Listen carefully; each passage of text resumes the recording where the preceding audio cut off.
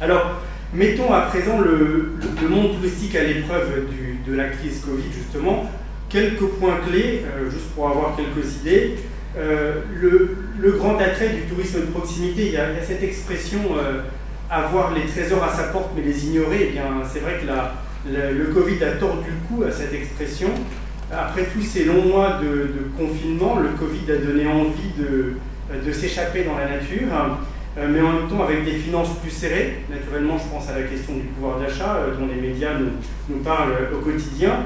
Et puis avec une préoccupation euh, qui vient également de plus en plus avec la question de l'empreinte carbone. Et c'est là que le tourisme de proximité entre en jeu. Le tourisme de proximité, c'est simple, c'est voyager sans aller très loin. C'est une approche économique respectueuse de l'environnement pour explorer ce qui est proche de chez soi. Le tourisme post-Covid, il nous conduit aussi vers un tourisme plus durable. Euh, le tourisme durable, c'est quoi? C'est toutes les formes de tourisme alternatif hein, qui respectent, qui préservent, qui mettent durablement en valeur les ressources patrimoniales d'un territoire. Alors, forcément, on, a parlé d'omniprésence du numérique, de recherche de mieux-être, de tourisme de proximité, de tourisme durable. On n'a pas encore employé le mot euh, expérience. Euh, il est devenu central dans l'attente des publics on en a déjà beaucoup parlé. Je sais que le programme des, des Best of Wine euh, a fait déjà un certain nombre de, travaux sur la question, donc je serai très bref, c'est juste un rappel. C'est vrai qu'aujourd'hui, la visite d'un lieu ne peut plus se résumer à un parcours passif, hein, euh, mais ça doit devenir une expérience pendant laquelle le visiteur devient acteur. Il interagit avec le lieu, avec les objets, avec les autres visiteurs, avec l'environnement dans lequel euh, il évolue. On peut dire globalement pour définir une expérience, on peut l'opposer à un produit. On achète un produit, comme n'importe quel bien euh, ou service de base, on paye, on achète, on repart avec son produit. À la différence d'un produit, on se souvient d'une expérience. L'expérience touristique, elle met l'accent sur les, sur les émotions, sur les sensations que les visiteurs vont, ressentir. Une expérience réussie, elle est personnalisée, elle a de la profondeur, elle apporte une, une plus-value, elle apporte de l'épaisseur à l'existence. On peut même Imaginez parfois qu'une expérience réussie, elle peut modifier le cours d'une vie. J'irai pas plus loin aujourd'hui sur la, question des expériences.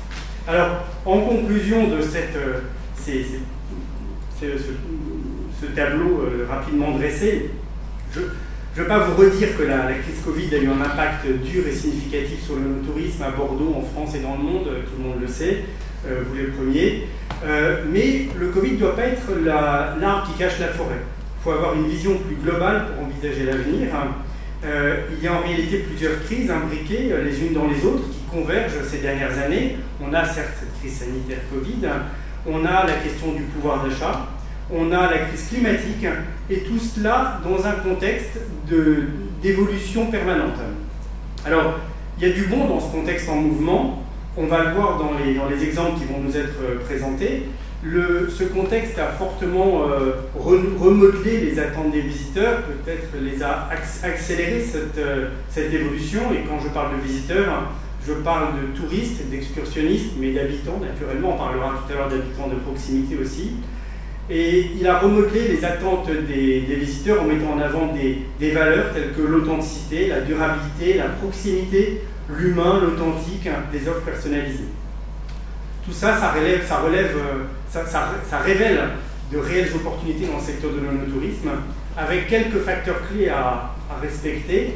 Porter une attention pointue au profil des clientèles qui sont de plus en plus euh, euh, segmentées, donc d'où la question des offres personnalisées.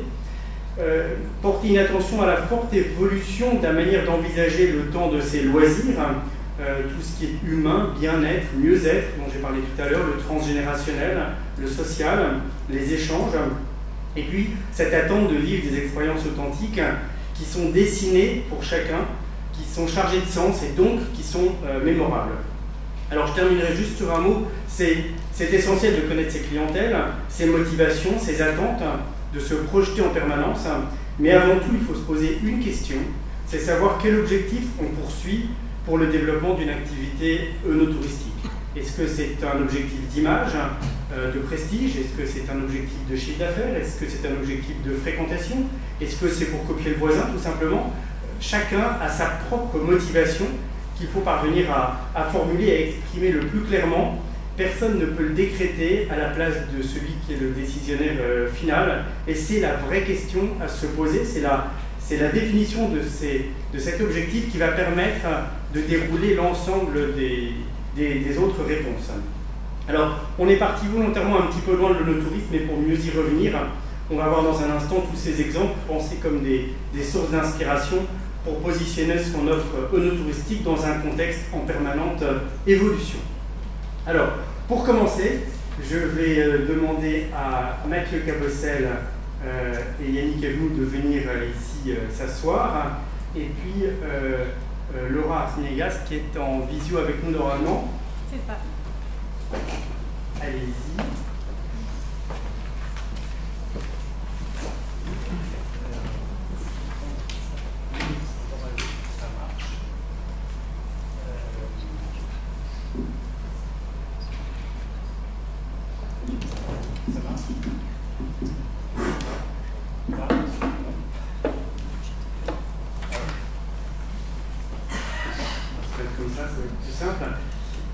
Alors, on va commencer par mettre la main à la pâte euh, avec euh, des, en, recherchant des rencontres sincères, authentiques, conviviales. Euh, alors pour commencer, j'espère que vous n'avez pas le mal de mer parce que Mathieu va nous emmener en mer. Mathieu, vous le voyez, je ne vais pas paraphraser ce qui est écrit là, est directeur du comité régional de la conchiliculture Arcachon-Aquitaine.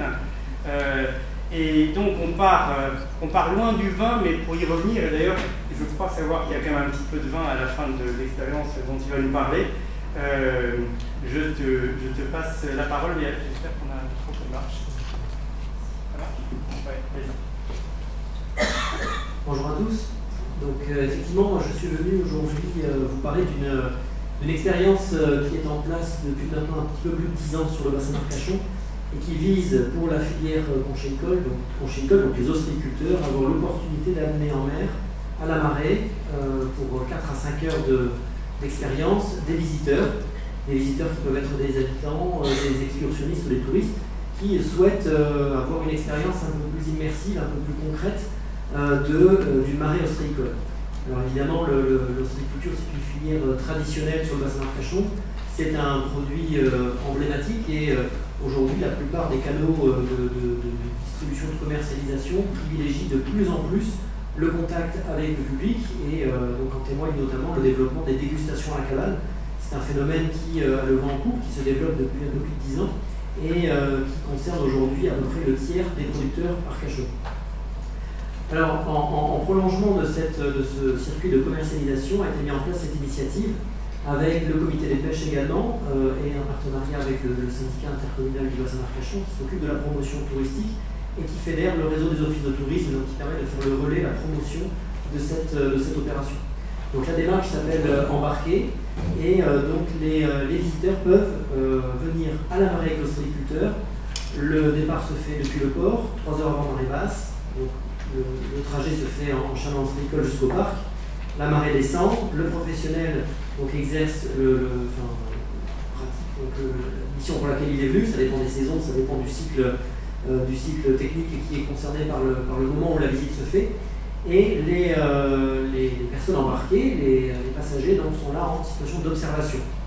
je vous laisse imaginer les contraintes techniques et réglementaires que suppose le fait d'amener des gens à la marée. Donc, inutile de vous dire que ça ne concerne pas tous les ostréiculteurs, évidemment, ils n'ont tous franchi le pas. En revanche, euh, c'est vraiment l'occasion de partager euh, son métier, sa passion, euh, le grand air, le quotidien, je dirais, vraiment sur le terrain. l'objectif, Luc en parlait tout à l'heure, l'objectif c'est certainement pas de développer du chiffre d'affaires. L'objectif c'est avant tout de promouvoir une filière, de promouvoir un métier et de faire vivre une expérience. Et quelque part, c'est de faire de ces visiteurs des ambassadeurs. C'est-à-dire que le but, l'indicateur de résultat finalement de cette opération, c'est pas le nombre de passagers embarqués, c'est pas ça. C'est le fait que les gens qui ont vécu cette expérience derrière vont euh, avoir un souvenir mémorable de ce qu'ils ont vécu et quand ils vont déguster le produit, ils auront forcément référence à cette expérience. Et ils vont se faire, ils vont, ils vont permettre de faire aussi rayonner le produit et le métier parce que au contact de leurs amis, au contact de leur famille, euh, eh bien forcément ils vont véhiculer ces valeurs, ils vont porter les messages et s'approprier aussi eux-mêmes une part de la filière. Donc a une question aussi d'identité, notamment pour les habitants, pour les résidents du territoire, de pouvoir comprendre, connaître et partager ce qui fait le bassin d'Arcachon et notamment cette filière un petit peu emblématique. Merci pour cet esprit de synthèse. c'est on, va compléter maintenant, euh, on, va rester dans le domaine de la, de la gourmandise, euh, avec euh, Laura Arciniegas qui est avec nous en ligne. Oui, tout à fait.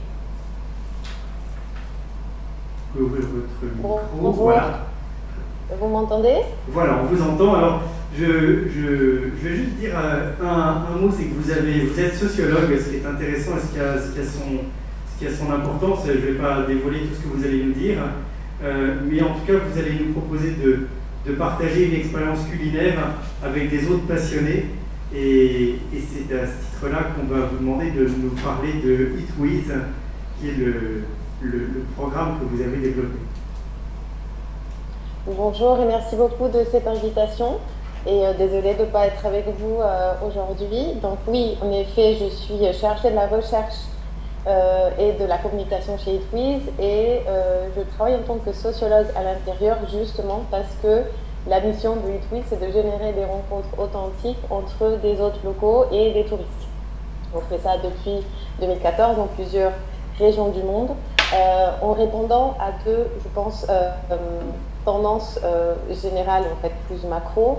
La première étant le tourisme ou le surtourisme, le, développement, on va dire, du tourisme, qui fait justement que des liens entre des locaux et des touristes se délient complètement et il n'y a parfois aucune rencontre entre ces deux, ces deux communautés. Et euh, le besoin donc en fait des touristes de connecter d'une façon plus sincère et d'interagir de façon plus sincère avec la destination à laquelle, laquelle ils visitent, qu'ils ont choisi. Donc dans ce sens, la gastronomie et par là aussi le vin, bah, c'est un connecteur social et culturel euh, très, très, très, très, très puissant qui permet à la fois en fait de, tisser des liens significatifs. Lorsqu'on mange avec quelqu'un, ce n'est pas anodin. On va partager énormément de choses par rapport à la culture de l'un l'autre, à l'identité, à l'histoire des territoires et des communautés. Euh, on apprend énormément des différences culturelles, de l'histoire en fait d'une région. Et c'est un peu l'exemple qu'on a vu depuis, euh, qu'on a commencé. C'est vraiment parfois le, point, le summum de, l'expérience touristique, c'est vraiment d'interagir véritablement avec, euh, avec, les, avec les locaux. Et nous, notre expertise, c'est vraiment de générer en fait ces environnements authentiques par le biais de la sélection d'hôtes et de leurs expériences. C'est des expériences qui sont entièrement créées et montées par les hôtes euh, ils créent leurs espaces, leurs menus. Ça peut être à la fois euh, ou juste, juste, un dîner ou aussi un cours de cuisine ou aussi une dégustation à côté d'une dégustation de fromage, de vin, euh, une visite de ferme, une balade gastronomique, mais toujours en interagissant avec, avec le avec l'hôte. et c'est ça qui est le plus recherché justement par, par, les, par, les, par les touristes. C'est vraiment ce lien, ce lien, ce lien social. Euh, qui va en fait restructurer un petit peu l'essence même du tourisme qui est celle de l'hospitalité et dans son sens premier, la rencontre entre des hôtes et des, euh, et des invités euh, sans, sans, sans, intermédiaire, on va dire. donc c'est sur cette dynamique-là que le vin aussi va, bien sûr accompagner tous les dîners. Il, a, il y a plein d'histoires qui peuvent se raconter à partir de ces expériences et je pense que nous avons tous euh, en tête en fait cette sensation de partager la table avec les gens, d'autant plus si c'est des gens qu'on ne connaît pas, donc ça crée énormément de, liens et ça renforce euh, beaucoup euh, les, les, territoires et les, traditions. Merci. Merci. Alors, du coup, on ne fait pas les choses exactement dans le bon ordre parce que d'abord, on est allé chercher les, huîtres. ensuite, on va à table avec vous, avec Itwiz. Et maintenant, euh, Yannick Evnou, qui est euh, fondateur et directeur général du Château Réau, euh, va nous proposer d'aller chercher le vin, ou bien plutôt de, va nous proposer de faire le vin, de mettre la main à la pâte, et dans ces journées vendanges, pour un concept assez atypique dont vous allez nous parler. Oui, alors nous on est propriété viticole, enfin, certains d'entre vous la connaissent, qui est située près de Cavilla. et qui est jeune, qui a 11 ans, sur 11 ans. Et en fait, la particularité de cette propriété, c'est que j'ai monté ce projet en m'appuyant sur un, nombre conséquent de, copropriétaires privés. Donc, ce sont des gens qui ont acheté leur envie, en fait, pour faire simple, chacun. Et aujourd'hui, euh, il y en a 700 euh, composent le panel du, projet, là, qui sont issus de 26 pays.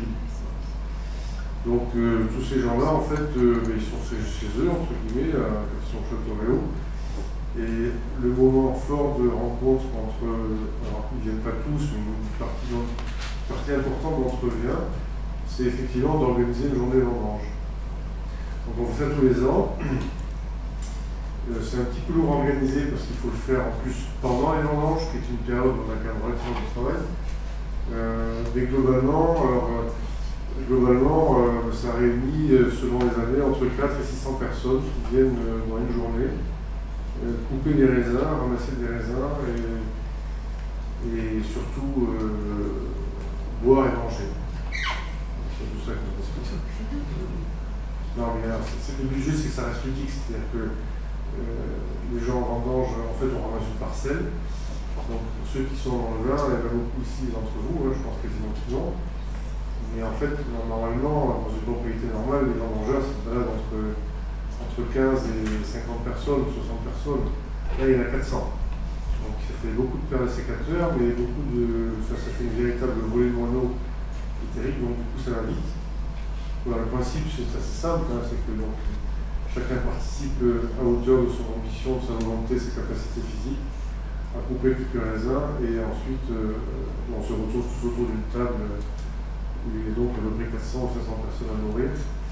Euh, et c'est très sympathique, mais il faut qu'il fasse beau, parce qu'on fait ça dehors.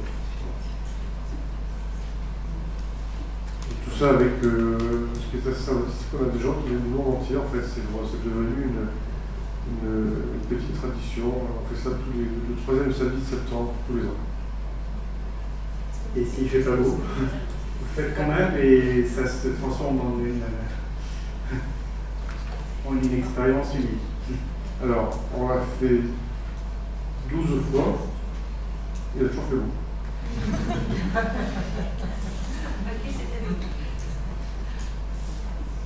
on n'a pas de Alors justement, donc maintenant on a ces trois, ces trois exemples de cette première table euh, qu'on avait a appelé authenticité rencontre aller au-delà de démonstration. Euh, je vous l'ai dit en, introduction, l'idée c'est de mettre la main à la pâte.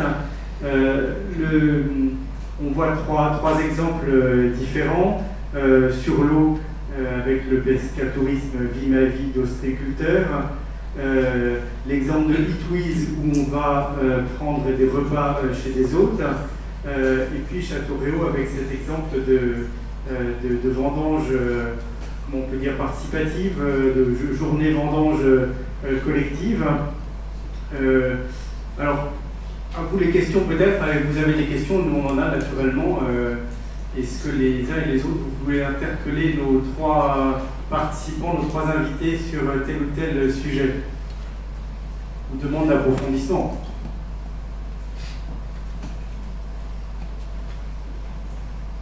Oui, tout au fond. Sur le bateau, ils mettent vraiment la main à la pâte vous, les, occupez Ils prennent part à des, à des actions euh, précises? Alors dans, l'idée, c'est ce que je, disais un petit peu à Mimon tout à l'heure, euh, amener les gens en mer, c'est extrêmement contraignant, notamment d'un point de vue réglementaire. Donc effectivement, euh, l'objet est centré sur l'observation, c'est-à-dire que les passagers doivent euh, observer la façon dont l'ostréiculteur procède, comment il tourne les poches, comment il charge, il décharge, il, repositionne, ses, parcs et son, châtel. dans, la vraie vie, effectivement, il y a de la porosité. Et cette porosité, elle est, je dirais, la discrétion du professionnel euh, elle n'est pas, euh, elle pas, euh, comment dire, elle pas vendue comme ça, ça je veux dire. On doit rester notamment, normalement, vraiment sur de l'observation, ce qui déjà, enfin, il faut, imaginer que l'expérience est extrêmement immersive au sens propre du terme, c'est-à-dire qu'il faut un équipement, il faut aller sur l'estran, le sol est mou, il fait chaud, il y a du vent, éventuellement il fait froid, il peut pleuvoir, ce qu'on dit, hein, c'est qu'il n'y a pas de mauvais temps, il n'y a que des mauvais équipements. après, les réservations sont souvent plutôt sur des jours de, évidemment de beau temps, Mais je dirais déjà l'observation en soi, et pour quelqu'un qui n'a pas l'habitude de venir à la marée, peut être assez, déjà assez éprouvant. Rien que le fait de se déplacer sur le parc, de monter, descendre du bateau, etc. Mais effectivement, quand, les passagers souhaitent aller un petit peu plus loin, c'est jamais interdit. Justement, c'est une question que j'avais envie de poser. Est-ce que c'est une balade touristique ou une sortie professionnelle Mais c'est valable aussi euh, pour la journée vendange? Est-ce que c'est un moment entre copains ou est-ce que c'est du travail dissimulé euh, J'imagine que juridiquement, vous êtes. Euh, c'est pas évident et même en préparant cette, cette, cette table ronde, on s'est rendu compte qu'il y a eu des exemples où les vendanges sont pas les, vendanges participatives comme ça, ça, ne s'improvise pas, on peut pas s'improviser tailleur de, ou récolteur de raisins euh, euh, comme ça du jour au lendemain. Euh, de, comment vous gérez ça?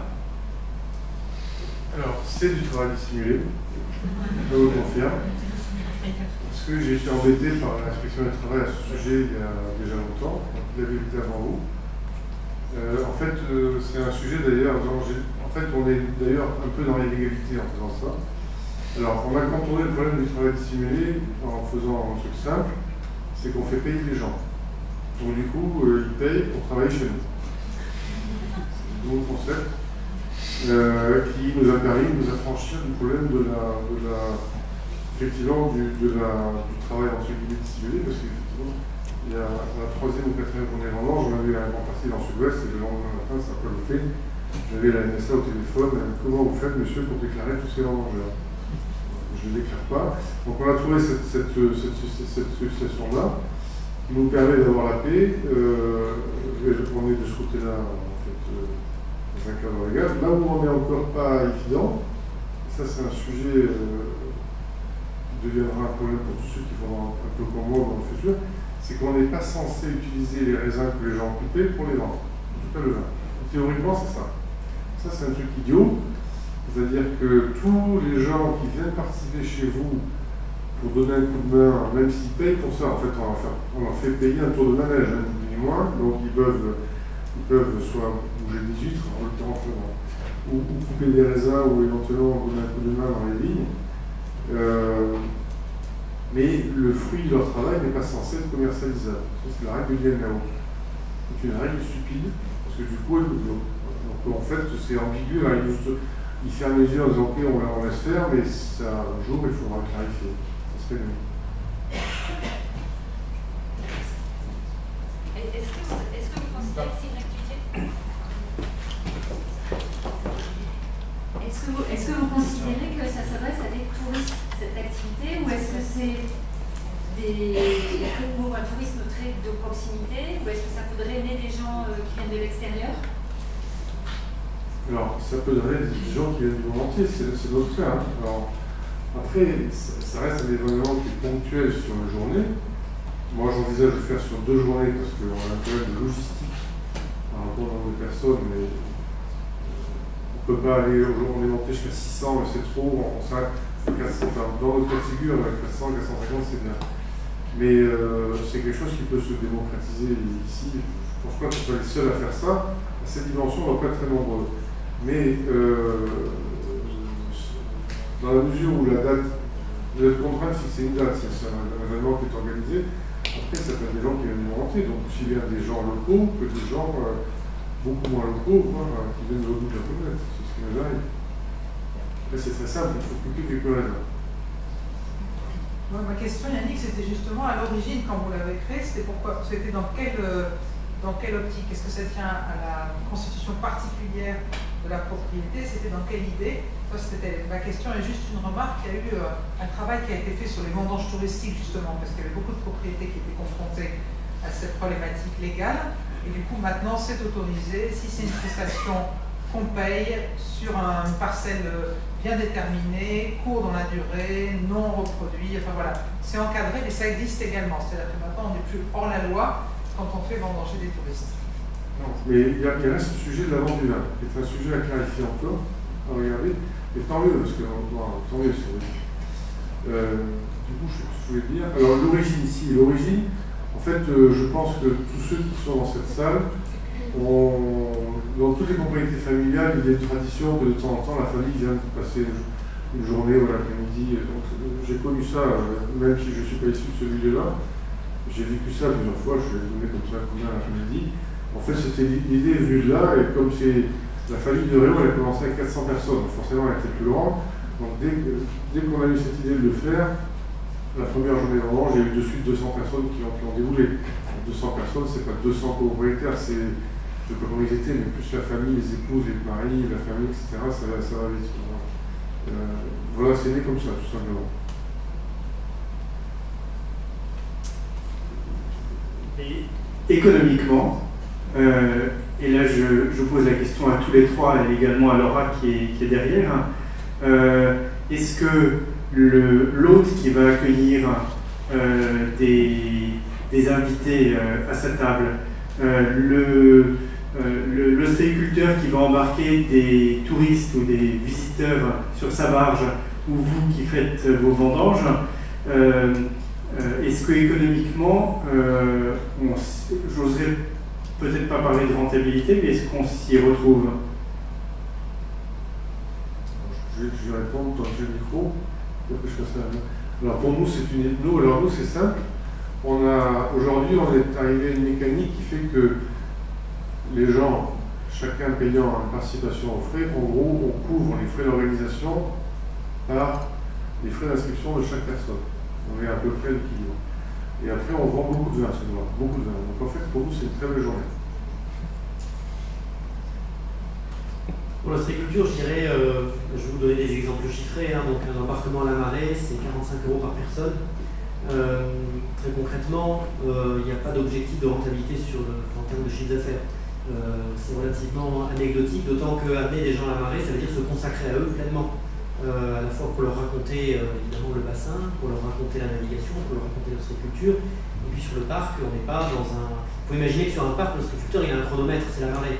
C'est-à-dire que quand le parc découvre, il y a un certain nombre de tâches à accomplir dans un temps qui est fixé et avec lequel on négocie pas.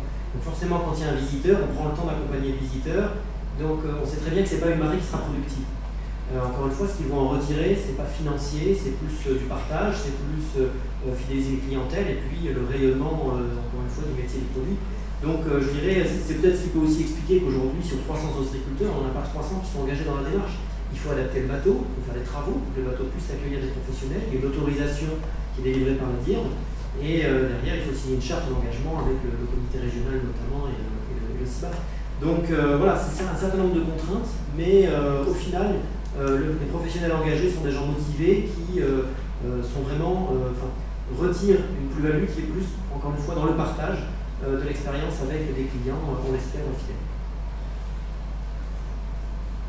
Euh, pour, le cas, pour le cas de eTools concrètement, euh, comme je disais avant, c'est l'hôte en fait qui crée absolument son expérience, qui décide du prix, du tarif en fait qu'il veut, veut recevoir par personne qui va venir. Ça dépend des ingrédients qu'il utilise, du temps qu'il va consacrer, de l'espace, s'il parfois il loue des espaces particuliers ou c'est chez eux directement. Il va y avoir plusieurs variables en fait qui vont déterminer cela. Euh, je pense que pour euh, euh, les expériences qui sont en milieu, euh, urbain, ça, vraiment, ça, s'inscrit dans une, démarche, c'est vraiment avoir un peu plus d'argent. Ils sont vraiment motivés pour avoir un revenu de plus. Euh, et je pense que ça peut être le cas aussi au milieu semi-rural ou rural, dans le sens où ça peut contribuer à ça, mais avec le, plus en fait de, contribuer justement à valoriser tous les, autres produits ou toutes les autres démarches culturelles en fait dans, le territoire. Je pense que ça peut avoir d'autant plus un impact euh, euh, économique, quoique pas direct toujours en fait sur sur l'économie des exploitations des, des, hôtes. Merci. Alors peut-être juste pour conclure euh, ces trois exemples, il me vient une phrase, j'ai écouté ce, ce week-end euh, sur la route un interview de Sonia et Alexandre Poussin. vous savez, ce sont cet écrivain voyageur Alexandre Poussin qui, qui a commencé dans les voyages avec Sylvain Tesson. Et il disait, avec sa femme, ils ont traversé tout le, continent africain. Et avec leurs deux enfants, ils ont fait le tour de tout Madagascar. Donc, c'est des, écrivains voyageurs. Il parlait de la, marche qui est le plus court chemin vers l'autre, avec la rencontre gratuite vers l'autre. Et en vous écoutant tous les trois, je reviendrai à la, la notion d'objectif à définir dont je parlais tout à l'heure en introduction. On pourrait dire que ces trois formes d'expérience qui sont très différentes sont le plus court chemin vers l'autre. En tout cas, il y a une rencontre vers l'autre entre vous, alors que vous représentiez ou bien que vous soyez vous-même le, le, professionnel, et celui qui vient à vous euh, dans une attente de, de, vous découvrir, de vous rencontrer, de parler, de créer du lien social. Euh, donc c'est ce qu'on peut retenir peut-être de ces, ces, exemples et de cette euh, authenticité et rencontre qui va au-delà de la simple démonstration. On va, embrayer sur la deuxième partie. Donc Brigitte Bloch euh, Anne Souquet et Vincent Boiron, si vous voulez bien euh, rejoindre.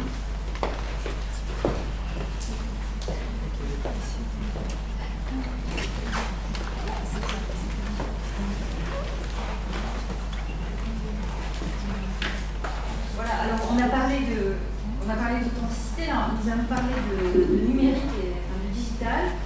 Euh, donc, comme disait Luc, il y a des choses qui sont un peu un peu troublant dans les tendances de fond, dans les tendances de fond de notre époque et, notamment du tourisme.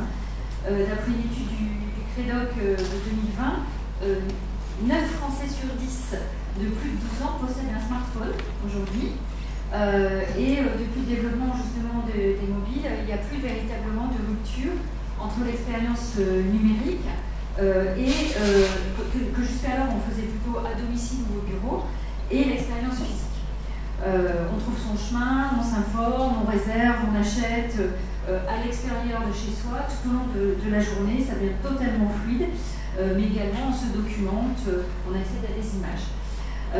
la durée moyenne de temps passé sur un écran s'élève à 32 heures par semaine. et donc, vous imaginez bien, avec un boost effectivement suite à l'époque Covid et au confinement, mais du coup, tout ça conduit à une beaucoup plus grande aisance du public tout ce qui relève du digital. Il y a seulement 8% euh, des enquêtés euh, qui ne se connectent jamais à Internet. Donc on peut dire que c'est devenu vraiment quelque chose d'extrêmement de, grand.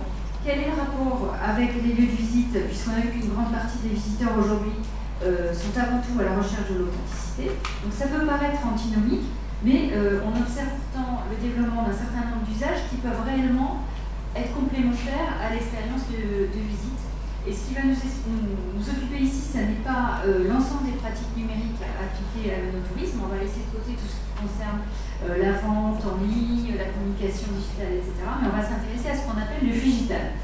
Donc, qu'est-ce que, euh, qu'est-ce que ça veut dire? C'est un terme, c'est un néologisme qui est apparu en 2013. C'est un terme qui nous vient du monde du commerce, du marketing, et qui fait référence à l'intégration des expériences physiques dans le monde réel et les expériences numériques. Euh, c'est une tendance croissante à fusionner les canaux euh, de manière totalement fluide, euh, interactive et holistique pour les consommateurs et les, utilisateurs. Donc l'objectif, c'est d'améliorer l'expérience du visite et aussi d'améliorer l'expérience de celui qui produit le, service.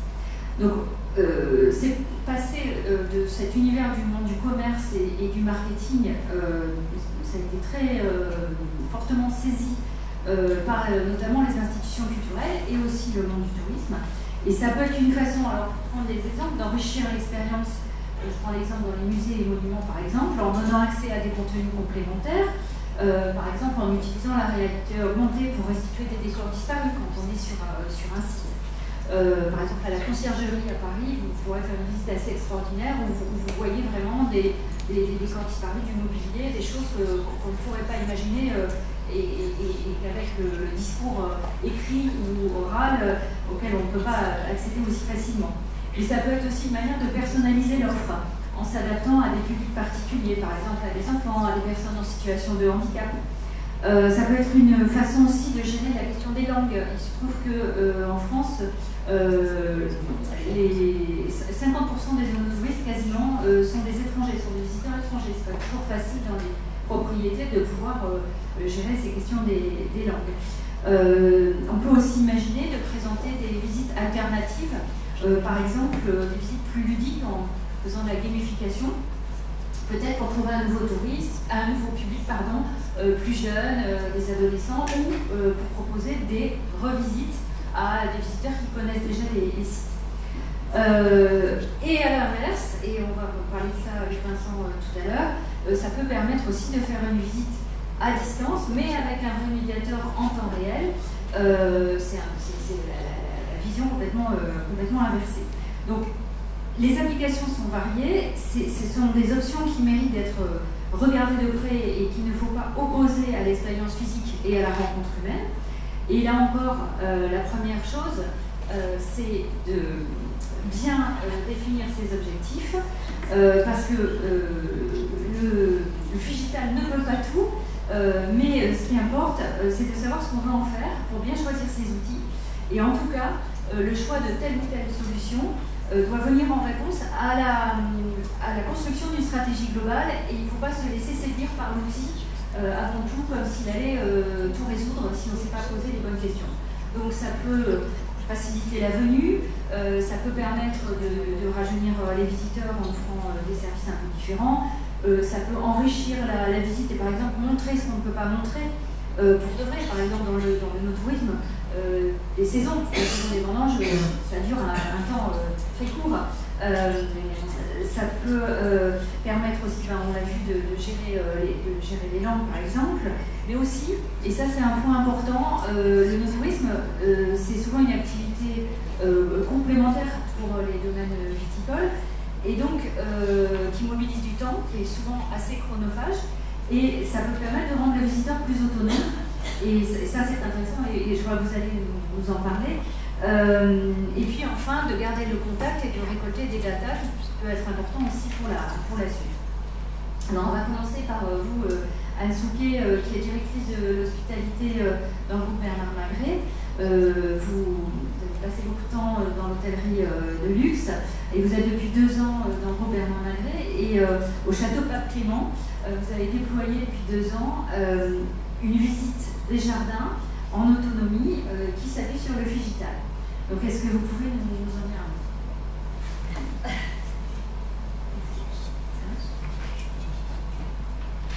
Ben, bonjour à tous. Donc, effectivement, le château Clément euh, a fondé sa notoriété avant toute chose sur les vins, mais depuis euh, une dizaine d'années, on propose l'activité œnotouristique, classiquement l'hébergement, les visites, les séminaires, euh, on fait des visites classiques, on est passé à des ateliers participatifs et puis on s'est posé la question de comment introduire le digital dans notre offre touristique. Et c'est là qu'on s'est dit, bon ben voilà, au Château Clément, on a quand même une singularité, c'est la beauté de nos jardins. Euh, on a euh, des jardins qui sont d'une qualité assez extraordinaire, très diverses. donc on a 600 variétés de plantes et d'arbres, dont certaines sont des pièces uniques dans la région. Et donc on s'est dit que pour permettre au plus grand nombre de venir profiter de cette beauté euh, des lieux et de percer un petit peu euh, les, secrets euh, de ces arbres qui, on ne le sait pas quand on vient sur la propriété, mais ont pour la plupart une histoire, on allait bah, créer cette expérience digitale, donc digitale, la construction de physique et digital, et offrir la possibilité au plus grand nombre donc de venir découvrir les jardins extraordinaires du château Capiment. Donc le but c'est de euh, personnaliser l'expérience client et de toucher un plus grand nombre. Le dispositif il est à la fois simple mais original, il s'inspire de ce qui se fait dans les musées effectivement.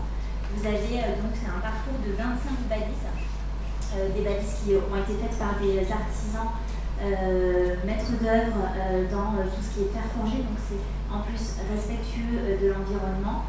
Et donc, euh, ces 25 points d'intérêt qui sont matérialisés tout au long de la promenade du visiteur.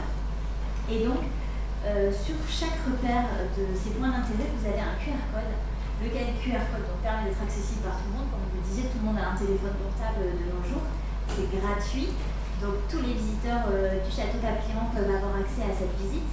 Il vous suffira donc de flasher le QR code qui se présente devant vous et euh, vous allez avoir automatiquement euh, un accès au podcast euh, du jardinier, donc le jardinier de la propriété qui va vous expliquer ben voilà, ce qui se passe sous. Ce cèdre magnifique du Liban qui a été planté à la Révolution française ou ces oliviers millénaires avec lesquels nous faisons chaque année de l'huile d'olive. Le podcast, c'est très important, est traduit en anglais, puisque la majorité, effectivement, de notre clientèle est anglophone.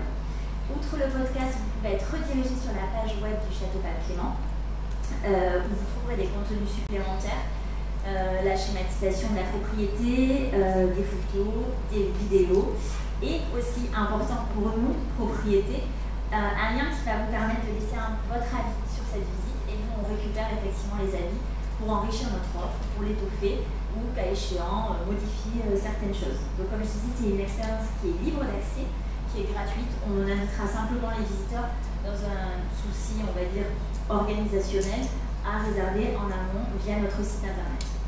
Voilà, nos motivations, c'était rendre de noblesse à cette nature qui nous, euh, qui, nous entoure au château Clément et qui est une diversité euh, assez exceptionnelle. Également un retour à la terre qui est très important pour nous, parce que ben, on est une propriété viticole, donc la terre pour nous c'est très important. Euh, et euh, étoffer donc cette expérience client qui est très importante aussi dans toute notre offre touristique et offrir aussi une flexibilité. Une flexibilité qui ne nous permet pas euh, d'avoir les visites, je veux dire, classiques où on va mobiliser un guide, où on va être assujetti à des horaires, on va assujettir également nos clients à des heures de visite. Là, en l'occurrence, ils sont libres d'organiser comme ils l'entendent leur visite. Donc tout ça gratuitement, effectivement.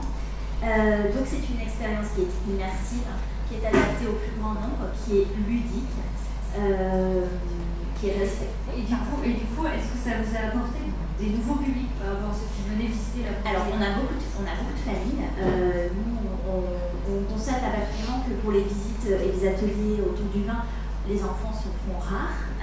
et c'est vrai que là, c'est une visite qui est faite en famille. On a beaucoup de, de voisins qui viennent visiter le parc qui passent devant tous les jours, mais euh, qui ne savent pas forcément que c'est un parc qui est accessible. Donc effectivement, on a cette nouvelle clientèle-là, et plus qu'une nouvelle clientèle, en fait, on a euh, upgradé un petit peu ce qu'on offrait déjà. Et donc, par exemple, les clients qui sont hébergés au château Bas Clément, ils sont très contents de pouvoir aller euh, scanner le QR code du potager et de voir que c'est un potager qui a été créé sous l'ère Bocuse, quand Bocuse travaillait pour, pour notre groupe, et que les légumes qu'on leur sert à la table d'hôte proviennent de notre potager. Voilà, c'est des petites choses comme ça. Euh, ça a apporté de la flexibilité. On a incrémenté l'expérience client, on s'est aussi adapté donc, aux nouvelles habitudes de consommation des clients, ce paroxysme de, cette digitalisation euh, qu'on a partout maintenant, et ce retour à la terre aussi qu'on constate euh, depuis quelques années, notamment post-Covid.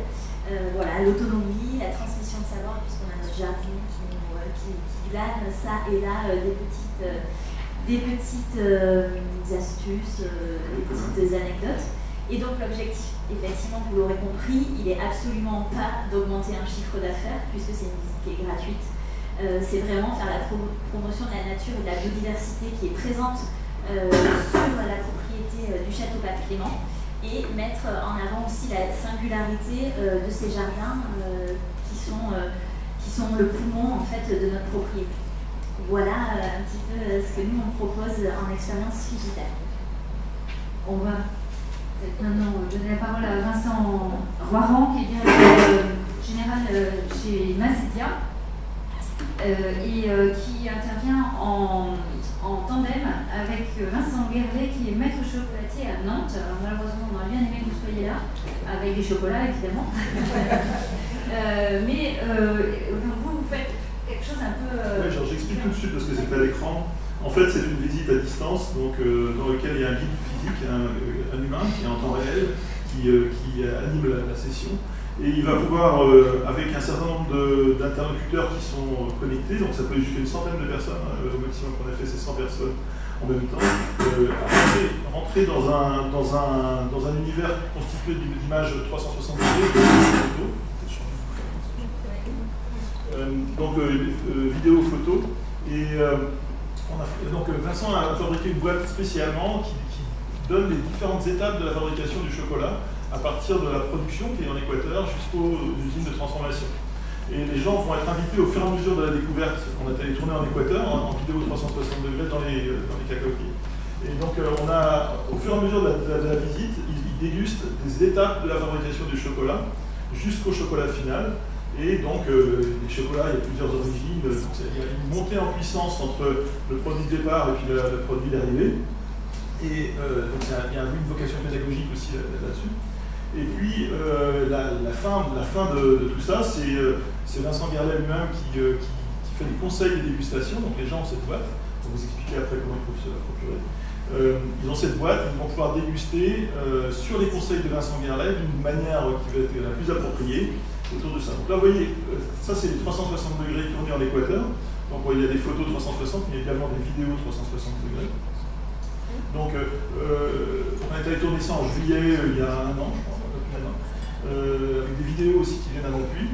Alors la particularité, c'est que les gens qui, consultent ça peuvent eux-mêmes se balader dans les 360 degrés de temps en temps, le guide dit Je reprends la main sur tout le monde et je vais vous expliquer quelque chose. Et là, tous les ordinateurs se synchronisent et c'est le guide qui prend la main pour, euh, faire la visite. On s'est inspiré des visites normales. Hein. Quand il y a un guide, il a un groupe, le groupe peut être un petit peu distrait. Il dit Allez, venez avec moi, maintenant on va regarder ça. Ensuite, il passe à l'étape suivante, etc. Vous voyez les vidéos 360 degrés, on va tourner avec le, guide qui, explique un certain nombre de choses. Et, donc, euh, euh, donc, au fur et à mesure donc, de, la, progression, là, on arrive dans les ateliers. Entre-temps, il y a eu des dégustations, on fait un peu de ellipse, hein.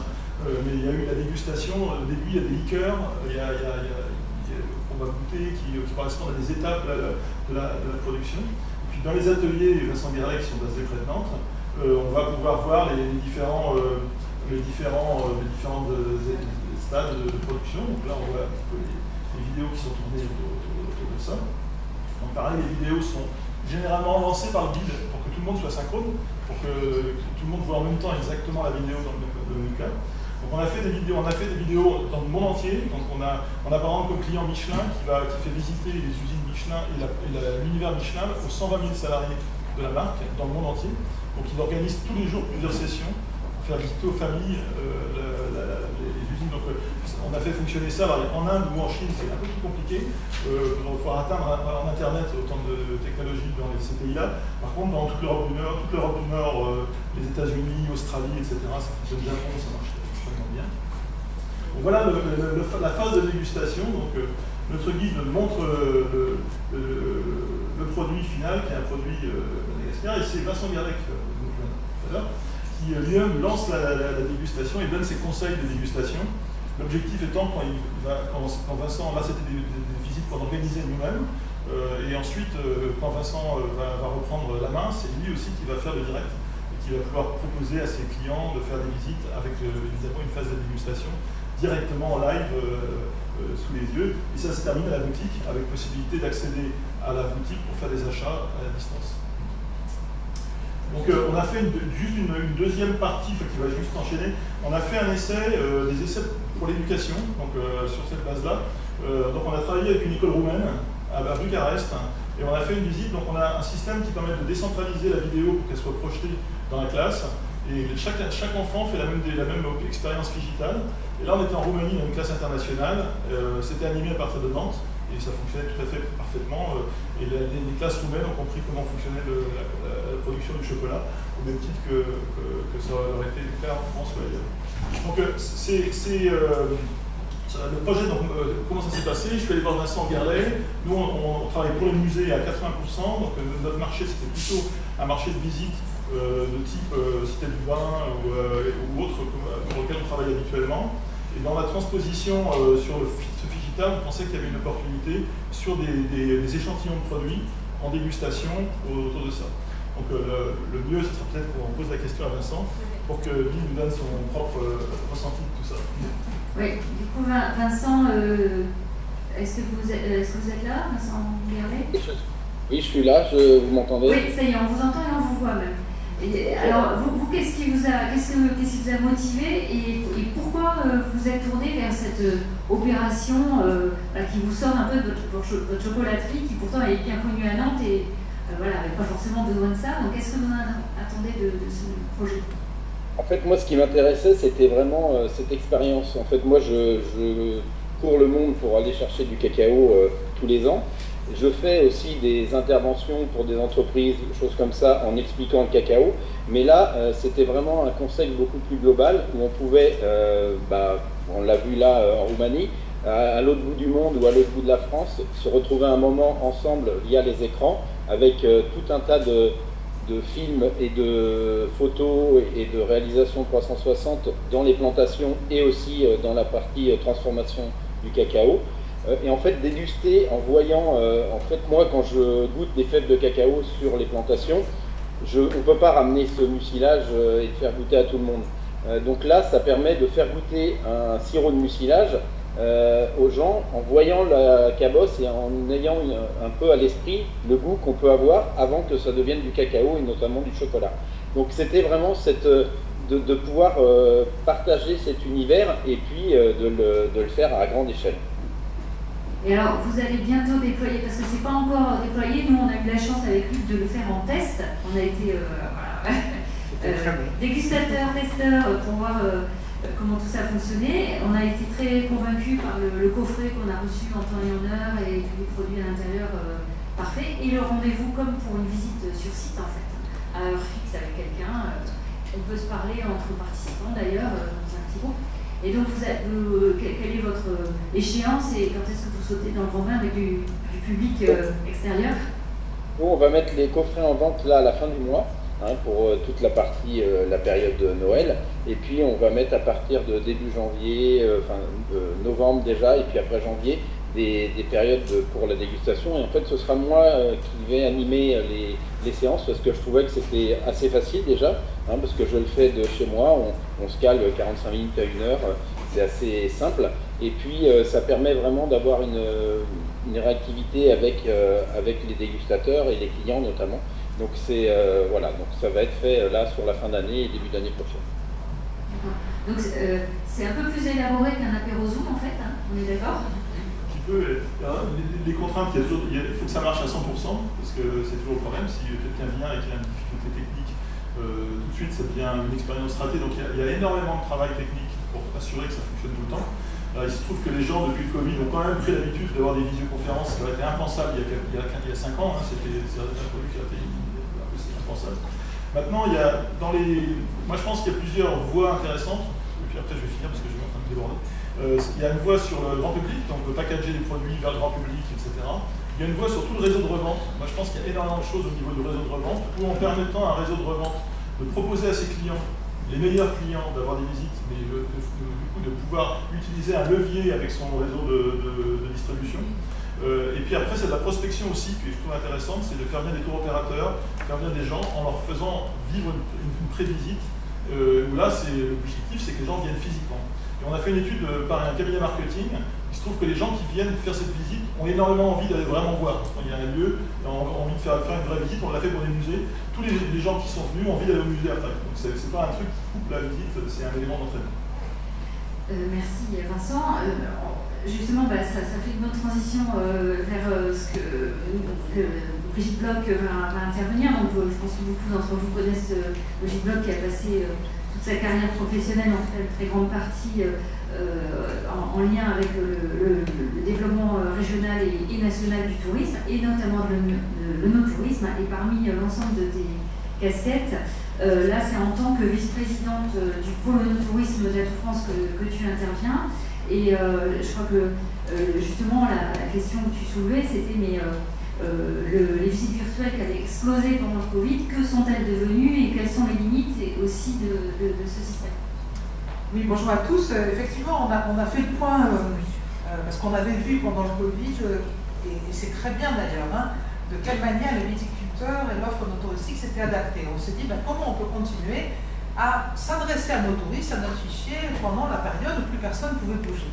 Et on a de nombreux collègues qui ont développé des visites de manière assez dynamique et même des dégustations, j'en reviens à, cette expérience-là, hein, des dégustations en direct en envoyant des échantillons à l'avance, enfin, vraiment avec quelque chose qui a été euh, extrêmement, euh, euh, je veux dire, fait avec, avec professionnalisme et constance. Et même chez les viticulteurs qui ont fait ça avec beaucoup d'entrain et d'énergie, ils ont du mal à le prolonger après euh, le Covid parce qu'en fin de compte, c'est pas ça leur métier. Hein. Leur métier, c'est d'accueillir des touristes sur place. Là, je parle du grand public, je parle pas des relations professionnelles qu'on peut entretenir, c'est encore un autre sujet, mais là, si on parle du grand public, euh, ce qui est sûr, c'est qu'après le confinement, en quoi nos vignobles ils ont été absolument extraordinaires, c'est qu'on pouvait ressortir, aller dans le vignoble, profiter des expériences qu'on avait euh, sur le terrain, et c'était vraiment quelque chose d'enthousiasmant pour les gens de revivre le contact et l'expérience. Alors, évidemment, toutes ces visites, elles ont décru, même chez ceux qui avaient fait ça de manière très professionnelle. En revanche, c'est vrai que compléter une visite avec euh, un outil, ça fait quand même, aujourd'hui on appelle ça digital, mais je suis sûre que beaucoup d'entre vous le faisaient déjà il y a quelques temps. Euh, je me souviens, il y a peut-être même presque 10 ans, euh, quand, j'exagère, ça peut un petit peu moins longtemps, mais le château Kirouane par exemple, euh, ils avaient développé euh, un iPad qui permettait, quand ils n'étaient pas disponibles, d'aller visiter le vignoble. Quand ils ont fait, je prends cet exemple-là, je pourrais en citer d'autres, mais c'est celui qui me vient à l'esprit, quand ils ont refait le chai et le parcours de visite à l'intérieur du chai, eh bien, ils ont inclus un espace où ils diffusent un petit film. C'est très très court, mais ça montre le temps des vendanges. Évidemment, on ne peut pas tous être là au moment des vendanges, même si on peut être vendangeur de jour. Il y a plein d'occasions où on n'est pas là au moment des vendanges. Mais ça donne une idée de comment ça se passe les vendanges. Ou alors, un autre exemple euh, qu'on a vu, on, était cette semaine avec quelques-uns euh, du pôle tourisme d'Atout France au Portugal. Bah, vous faites une dégustation et puis vous avez un flash code, vous le flashez, vous avez la liste des prix, voire la liste des, vins que vous pouvez euh, consommer. Donc il y, a beaucoup d'utilité, mais l'expérience touristique, c'est quand même une expérience sur le terrain et une expérience de présence. Et je vous parle de QR code qu'on peut flasher, mais je pourrais presque faire un test. Vous tous, vous êtes un jour touriste. Quand vous êtes touriste, est-ce que vous flashez des QR codes? Je ne parle pas professionnellement, hein, pendant vos vacances que ceux qui flashent des QR codes lèvent la main. Il y en a quelques-uns. Et vous voyez, en fait, le fait de le faire régulièrement, je ne dis pas que ce n'est pas, une, idée, une bonne idée, hein, je ne fais pas du tout une critique, je pense que, euh, comment dire, enrichir son offre, c'est toujours quelque chose de bien, ça, un complément, vous l'avez d'ailleurs très bien dit, ça n'a pas vocation à, rapporter de l'argent, ça a vocation à donner un, complément d'offre. Mais on voit que ces usages, ils ne sont pas si fréquents que ça parce qu'il faut avoir euh, de la batterie. Bon d'accord, on a des batteries d'appoint, mais euh, évidemment, chez eux c'est très bien fait, mais c'est pas nécessairement très bien fait, donc vous ne tombez pas sur la bonne langue. Et en fin de compte, vous tombez sur un système un peu obsolète, alors du coup vous retombez au sommaire, mais vous êtes déjà à l'étape d'après, et puis vous laissez tomber. moi je suis plutôt très, très candidate à ce genre d'activité, et ça m'est arrivé de nombreuses fois de laisser tomber parce que la technique ne marche pas, euh, ça me consomme trop de batterie, etc. Donc, je, crois qu'il faut vraiment rester extrêmement euh, concret et se dire, et se dire en fait, ces outils numériques, en quoi ils enrichissent mon expérience ou en quoi ils me permettent de développer. Bah, on parle, on parle de, je sais pas, de, on a parlé pendant un temps, maintenant c'est presque un peu démodé, mais d'escape game, de gamification, de voilà. C'est-à-dire, de quelle manière tout ça, ça me, ça, apporte un complément faut pas le prendre mal quand je dis que c'est un peu démodé, mais disons, c'est pas, c'est ce que je vous vois réagir en face de moi, c'est pas que c'est démodé, mais disons, à une époque c'était très original, maintenant on, peut s'attendre à trouver des escape games, c'est ça que je voulais dire, c'est pas, c'est, pas l'innovation la plus, euh, voilà, la plus grande, mais, euh, mais après je pense que tout ce qui peut apporter un complément euh, d'information, je pense que c'est vraiment comme ça qu'on peut, doit imaginer les apports technologiques, parce que vraiment dans nos métiers, rien ne remplace l'humain. Et vous voyez, même quand on, même, même quand on accueille une grande compétition comme la Coupe du Monde de rugby, qu'est-ce qui marche le mieux? C'est les bénévoles sur le terrain. Voyez, qu'est-ce qu'on remarque Sur quoi les gens nous donnent du positif C'est parce qu'ils ont vu des gens, alors que c'était juste pour leur indiquer le chemin à, faire en vélo. Mais qu'est-ce qu'ils ont remarqué C'est les gens qui les ont accueillis. Alors, je crois qu'il faut vraiment qu'on garde ça bien à l'esprit dans une société justement où on passe notre vie sur l'écran. Ben, le jour où on sort de nos écrans, qu'est-ce qu'on est content de voir des êtres humains? Non, mais tu as raison. Et alors, ce qui, ce qui est sûr aussi, c'est que ça ne supporte pas l'imperfection. Il faut que ça marche. Il faut que ce soit totalement fluide. Et je crois que ce qui, ce qui était compliqué, l'histoire des QR codes, il y a encore quelques années, je parlais du campagne, ça m'est arrivé dix fois, de, ça ne ça, voulait, pas, ça voulait pas donner la bonne page, etc. Il n'y a rien de plus agaçant. Et donc, on abandonne. Euh, aujourd'hui, tout le monde, à un moment donné, on a cru que les QR codes, ça n'allait plus marcher. Euh, finalement, euh, c'est la solution la plus, la plus, simple, etc., la plus rapide. Et comme tout le monde en utilise dans sa vie quotidienne pour voir à quelle heure arrive le bus, etc., ça, ça, ça mais on va même plus se rendre compte que c'est une seules ces, ces histoires de frigidaire. Par exemple, dans les- la modernisation de tous ces dispositifs, alors d'abord, il, y a le problème des écrans, c'est y a plein de gens qui viennent à l'endroit justement pour pas sortir leur téléphone. Donc ça, c'est un élément qui est assez constant. Donc euh, euh, il faut bien se dire que des gens, par, volonté, vont laisser le téléphone dans la poche parce que c'est justement pour ça qu'ils sont venus dans un autre endroit. Donc ça, il faut prendre en compte ce point-là. Après, derrière, il y a un certain nombre de segments. Euh, nous, par exemple, on a un projet en Suisse, là, sur, euh, toujours dans le chocolat d'ailleurs. Euh, et en fait, on essaie de faire, c'est pour les 15-25 ans, et le but, c'est que les, les gens, au travers de ces différentes étapes, euh, vont saisir des mots-clés, et à la fin, par un système d'intelligence artificielle, on va créer une image de leur, de leur rêve en chocolat. Et ils vont les, pouvoir la publier sur les réseaux sociaux. Donc on voit à partir d'un truc assez basique, de, de POI sur euh, des QR codes, ben on va trouver un autre truc où il y etc.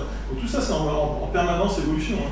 C'est, euh, rien n'est figé, il faut trouver la, la motivation. Mais la tendance, quand même, globalement, à ce que les gens, l'écr- l'écran a, moins bonne presse qu'il y a quelques années, en général. C'est quand même euh, c'est, une constante. Et, effectivement, ça n'est qu'un complément, ça n'est qu'un outil, il doit être totalement indolore. Euh, je pense qu'on posera des questions après la table ronde suivante parce que pour, euh, surveiller un peu le, le timing. Mais on restait là euh, sur les premiers rangs et, et je vais demander si vous voulez bien à Alexandra Bourgoin, Marie Forger euh, et Lucie de, de venir. Euh, Marie Forger est à, est à distance. Oui. Est à distance.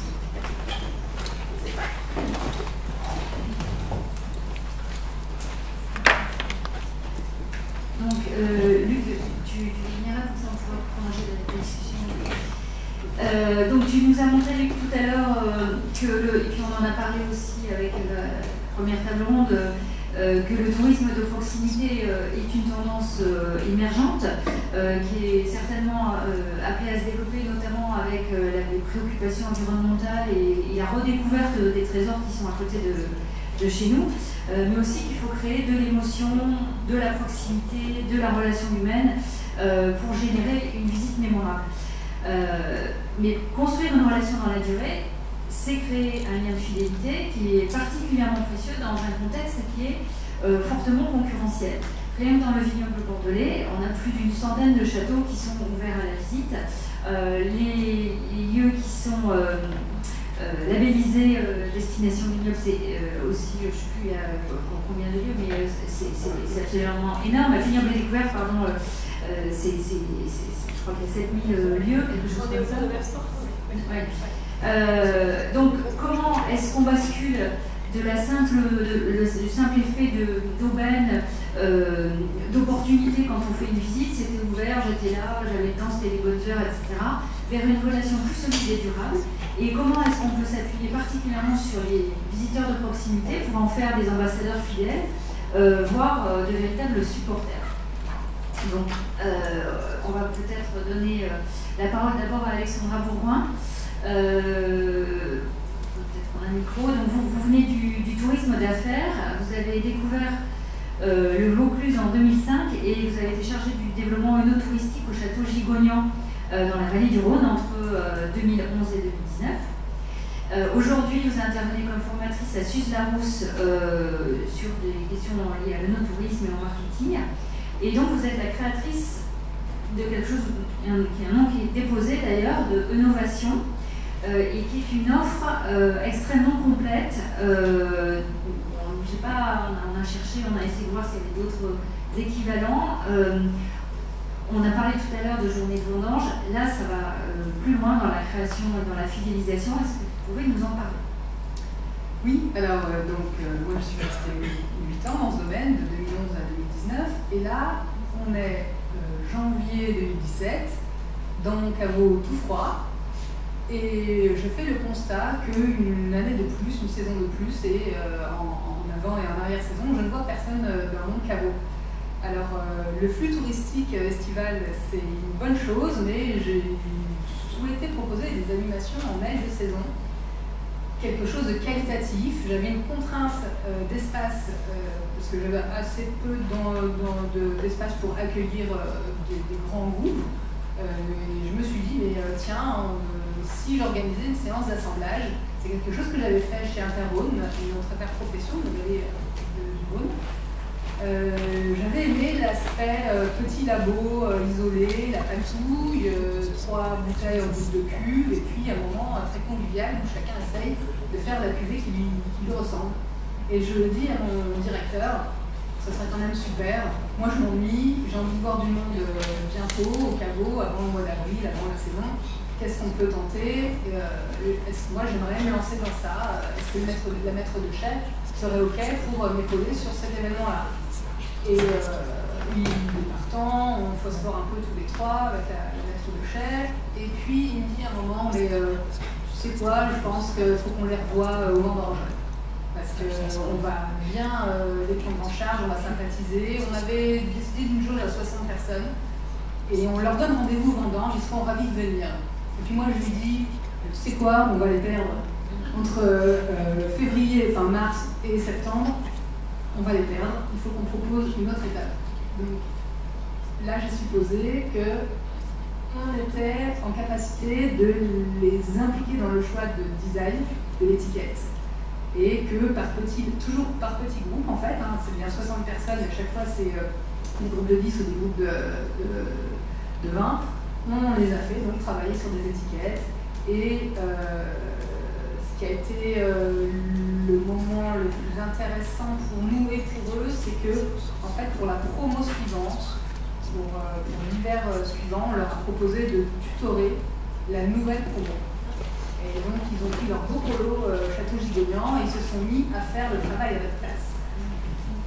Et en fait, à la fin des deuxième promo, on s'est trouvé euh, euh, ravis de voir que ces personnes étaient devenues des ambassadeurs.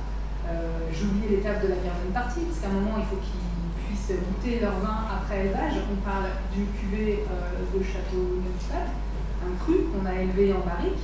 C'est quand même une wine class qui dure 16 mois. Euh, de process. Et euh, chacun était content d'arriver euh, dans les jardins du château Gigognan, de voir la palette prête à vendre, avec leur belle étiquette designée par eux-mêmes, le, nom de tous les innovateurs sur la contre-étiquette. Et voilà, chacun a acheté son allocation de, de Châteauneuf du Pape.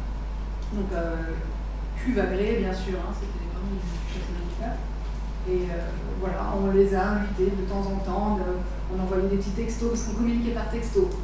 On trouvait que c'était plus intéressant, ça devait plus euh, proche.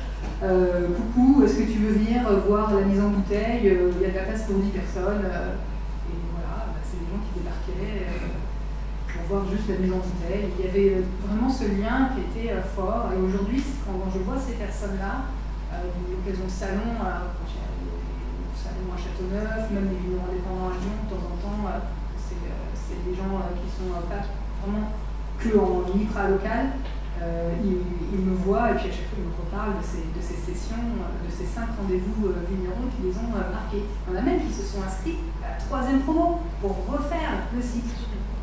Donc voilà. Alors qu'est-ce que ça a apporté au domaine, cette, cette expérience? Parce que ça, ça, ça, vous a aussi pris du temps et de l'énergie beaucoup.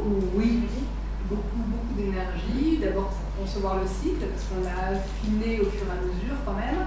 Euh, donc beaucoup de travail euh, de, conception, euh, corriger le tir sur certaines dates ou certains concepts qui étaient un peu lourds. mais qu'est-ce que ça nous a apporté? Ben, On était en grave déficit de notoriété, puisque autant vous dire que notre domaine produisait du Châteauneuf-du-Pape, mais on était dans une ville à côté, hein, on était à Sorgue, donc euh, on n'était pas dans le cœur de Châteauneuf. Évidemment, euh, les gros dinosaures de Châteauneuf, et, on n'était personne en fait. Hein. Donc euh, voilà, il fallait répondre à ça, à ce gros déficit de notoriété. Alors effectivement, on a vu beaucoup d'articles dans la presse sur cette expérience à l'époque. Ça a été un peu stoppé après le Covid. Oui, voilà, le, donc, voilà, le Covid a mis un terme à la session. Et, partis sur d'autres choses, donc il n'y a eu que trois promos de novateurs. Mais je crois qu'ils envisagent, de, on les a eu au téléphone, ils n'essaient pas de leur remonter, euh, mais d'en prendre les, euh, les, enseignements et de, les en mettre en place, mais pour l'instant ils sont pas encore, euh, parce que vous êtes partis de, de entre deux, mais euh, ça reste un, souvenir assez fort apparemment pour l'ensemble des, salariés du domaine qui, ont rencontré ces, Oui, Et même s'il fallait aller plus loin, on a même réussi à fédérer un peu les équipes parce qu'il y avait quand même une dichotomie entre les gens dans les bureaux, à la mine, les tractoristes, mes, femmes de chambre euh, aux chambres d'hôtes. Et en fait, moi, j'étais obligée de mobiliser tout le monde. Que toute seule, avec mes petits bras musclés, je n'allais pas faire grand-chose. Donc euh, j'ai sollicité une femme de chambre, j'ai sollicité un tractoriste, le régisseur du château, celui qui s'occupe un peu de la bobologie, c'est pour les châteaux, il dit que je euh, voilà, le directeur aussi qui a mis les mains dedans. Et, au final, par événement, pour l'encadrement, on était 6 pour organiser tout ça, toutes les mises en place. Ok, bah, c'est une expérience assez, euh, euh, excitante et, stimulante. On, va euh, interroger, c'est un, petit peu différent, mais on est un peu dans, un esprit similaire. Marie Forger qui est à distance. Marie, vous êtes là, vous avez travaillé dans un domaine familial en Champagne pendant un certain nombre d'années, mais vous êtes plutôt issu de euh, formation de commerce diplômée d'HEC Paris. Et, euh, vous avez euh, fondé, je crois, pas, toute seule, je crois, mais vous avez fondé QV Privé, qui propose de parrainer une parcelle viticole, un olivier, un champ de houblon. Est-ce que vous pouvez nous présenter le principe et, nous expliquer ce que les domaines attendent de ce, partenariat quand ils, adhèrent à un QV privé oui, bien sûr. J'espère que vous m'entendez bien. Merci beaucoup pour votre invitation. Euh, effectivement, en fait, euh, tout est parti du, domaine familial en Champagne euh, dont vous parlez, qui est un domaine traditionnel indépendant où les, gens viennent chaque année, remplissent leur coffre et repartent. Et on a la chance de vendre comme ça plus de la moitié de la production sans effort directement au domaine. malheureusement, ça ne peut pas être le cas de toutes les productions viticoles françaises. Et euh, cet effet un peu de loyauté des clients particuliers, on a, essayé de l'encourager euh, grâce à l'adoption euh, de vignes. Donc vous parlez effectivement des autres produits, mais c'est bien par la vigne que, tout a commencé. Et l'idée en adoptant tout à fait symboliquement une vigne, c'est de s'attacher au travail du vigneron, de le suivre tout au long d'un cycle, d'une année viticole, de comprendre les étapes alors plus de la vigne que, euh, que de l'élaboration du vin comme on l'entendait à l'instant, mais c'est aussi un pan euh, du travail important. Et à cette occasion-là, de recevoir à chaque saison un colis à la fois informatif, mais aussi avec les bouteilles qu'on a adoptées qui sont personnalisées. Et alors, du, coup, là, ça, ça, a été fondé à quel, à quel moment Il y a 5 ans, donc c'est en 2018. Et en, quoi ça se différencie d'un simple réseau de distribution en fait? En fait, l'idée, c'est vraiment de venir euh, intéresser le consommateur à ce qui se passe dans le domaine et recréer une, vraie loyauté. Vous connaissez certainement euh, euh, beaucoup de box de vin qui proposent de découvrir tous les mois une cuvée différente. on peut citer par exemple le petit ballon qui est certainement la plus importante à l'heure actuelle. Euh, nous, l'idée, c'est de se servir de, des acquis de ce modèle-là, euh, des gens qui veulent recevoir chez eux du vin, qui sont intéressés par euh, un contenu pédagogique, pas de la découverte, mais en, misant sur la loyauté à un domaine, à un vigneron, et la rencontre, puisque un plus de 20% de, nos, clients adopteurs de vignes finissent par aller au domaine, avec vraiment les équipes sur place. Et alors, qu'est-ce que les domaines qui participent vous renvoient comme retour d'expérience? Alors, euh, étant euh, fille de, de, vigneron, je savais qu'il était euh, important de, comprendre la, cible, la cible des domaines. donc, on a mis tout en place pour que ça prenne le moins de temps possible au domaine et que ça soit que un canal de, distribution supplémentaire qui est intéressant parce qu'il y a un côté anticipation, réservation de volume. Ça, c'est l'effet abonnement avec les colis qui reviennent et du coup qui est assez agréable euh, financièrement pour les domaines. Et, euh, tout ça euh, sans avoir à faire les colis, à personnaliser les bouteilles, puisque c'est nous qui nous en occupons en, portant le stock acheté dans nos entrepôts. Le seul, les seules minutes supplémentaires qu'on prend, et c'est déjà beaucoup au domaine, ce sont celles que les équipes passent avec nos clients sur place lorsqu'ils les reçoivent. Alors justement, est-ce que le fait de venir sur place et euh, se, déplacer pour les clients, est-ce qu'on a pu mesurer, là, c'est encore relativement récent, 5 ans, mais est-ce que ça a un effet de fidélisation réel? Oui, euh, on a des exemples de clients euh, qui sont même euh, de façon très directe, sans plus passer par privé privé, devenus des, clients très fidèles de leur domaine d'adoption d'origine. mais de manière générale, nous, on note que les clients qui se sont déplacés sont aussi ceux qui restent, qui continuent à acheter chez nous, qui adoptent à nouveau sur la même cuvée ou qui découvrent un autre domaine. Donc on a vraiment une grosse corrélation entre les personnes qui ont prétendent se déplacer euh, et les personnes qui sont restées fidèles au domaine et à QV privé. Et moi, j'ai une question à vous poser. Euh, dans la salle, il y, a, il y, a, 70 personnes, dont je pense euh, les 80% qui sont dans, des, dans le monde du vin, ce n'est pas 90. Si demain vous avez du coup 60-70 propriétés qui viennent vous voir, hein, très séduits par aujourd'hui, et qui disent je veux vendre mon vin par intermédiaire de QV privé. Comment vous faites? Vous les sélectionnez? Vous les vous testez, vous êtes. Euh, moi, j'ai testé, vous ai pris l'huile d'olive, elle est très bonne, mais j'ai ah. pas pris du vin. Et je voudrais savoir comment vous faites dans ce cas-là, pour choisir vos, ceux que vous proposez. Euh, c'est très important pour nous de garder un catalogue euh, réduit parce que là, on a parlé beaucoup des achats de bouteilles et des visites, mais au-delà de ça, on produit énormément de contenu sur ce qui se passe dans chaque domaine. Euh, donc nous, on a un besoin de rester euh, proche, de bien connaître, euh, d'aller sur place. moi, je vais voir tout le monde à peu près deux fois par an. Avec une cinquantaine de domaines partenaires, c'est un, défi de plus en plus grand. Donc, on a vraiment pour vocation de, de, garder un catalogue réduit et lisible et de ne pas mettre en concurrence deux domaines sur la même appellation. Donc, en fait, la réponse, c'est ça dépend si c'est une appellation que nous proposons déjà, mais on propose déjà pas mal de très belles appellations bordelaises.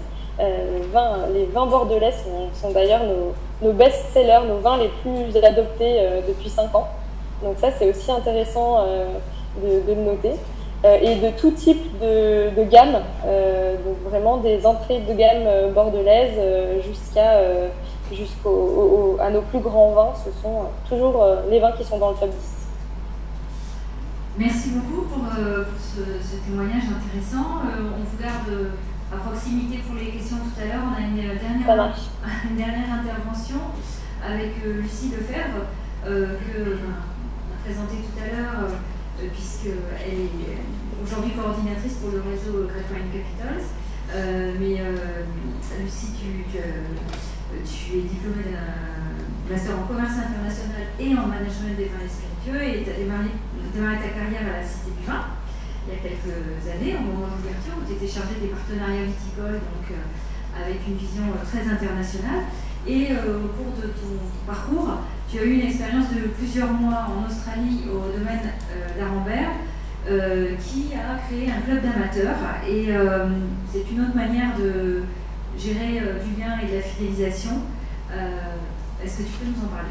Oui, bien sûr. Donc euh, oui, j'ai eu la chance de partir euh, à McLaren Vale, donc c'est en Australie du Sud, dans un domaine, euh, donc le domaine d'Arenberg. C'est un domaine qui a beaucoup fait parler de par son fameux cube.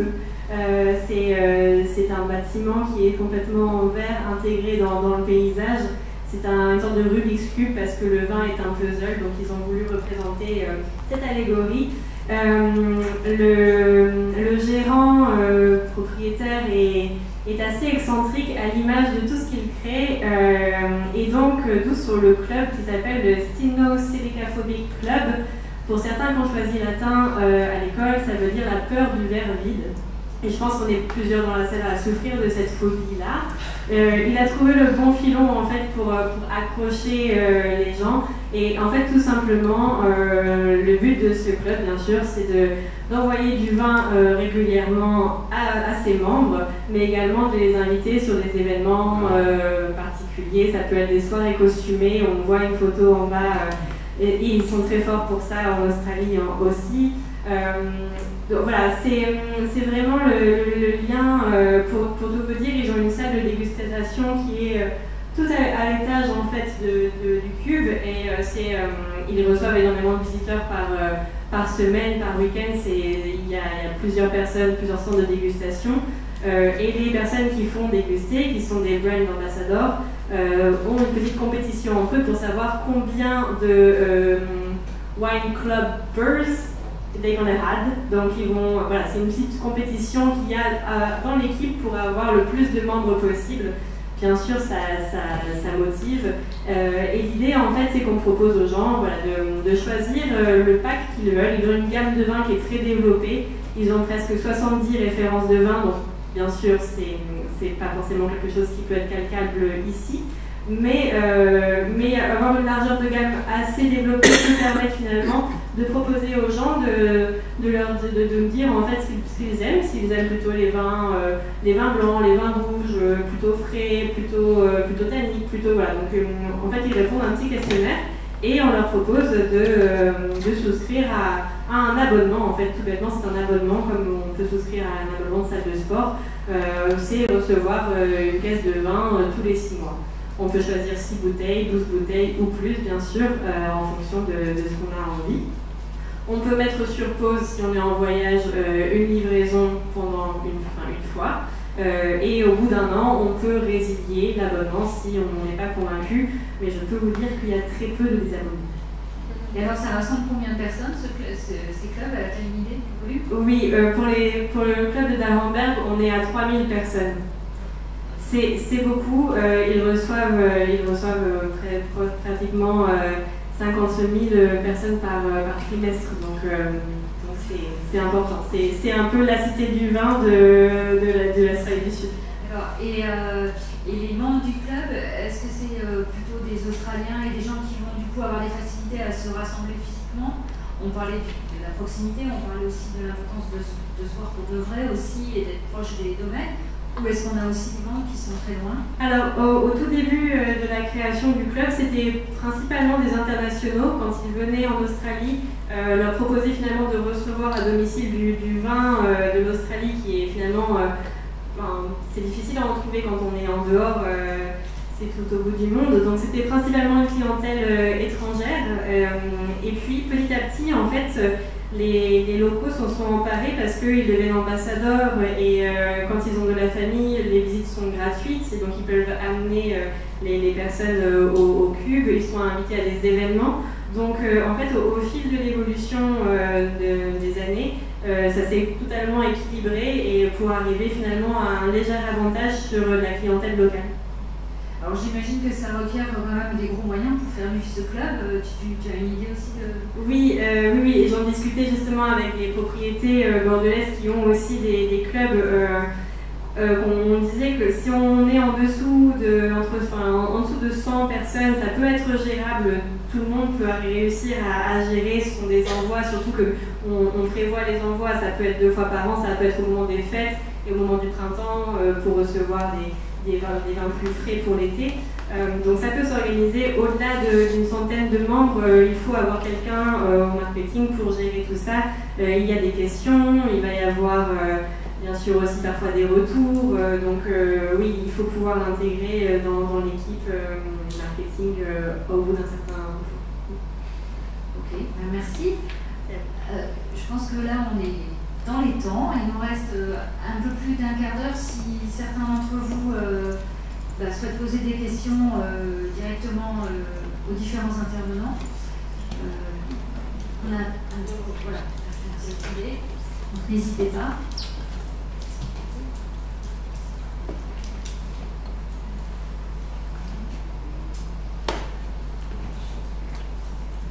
Pas du tout de... Non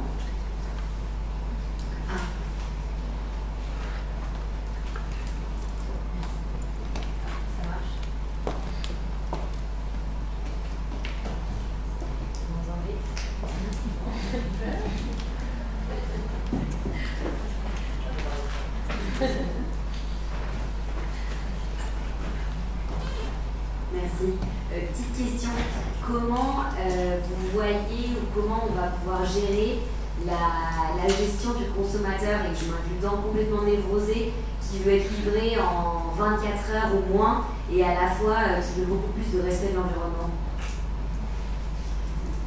Une question pour, euh, pour, pour, euh, bah, Luc, par exemple. Moi, je veux bien répondre si vous voulez. Il y a Marie qui veut bien prendre la parole. Ah oui, Marie Mais je, je vois que le, le micro était pris aussi, donc je, je veux prendre la parole à personne. hein, surtout. Euh, c'est une, très bonne question et euh, moi je, je suis basée à Paris avec une clientèle parisienne importante et Paris a vu euh, euh, fleurir euh, énormément de services de livraison en moins de 10 minutes euh, ces trois dernières années.